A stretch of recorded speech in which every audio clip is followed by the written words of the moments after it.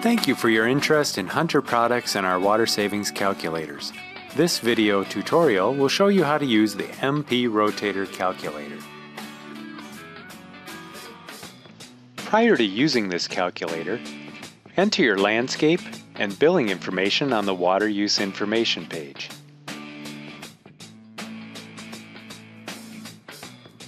The calculator uses the grass area you entered on the water use information page as a basis for the calculation.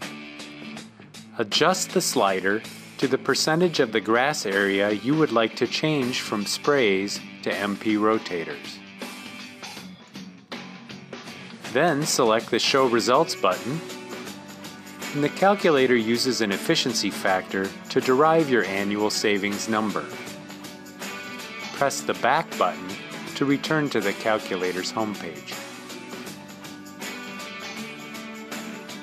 Remember, these calculators are designed to give you an idea of what your potential savings could be and actual results may vary.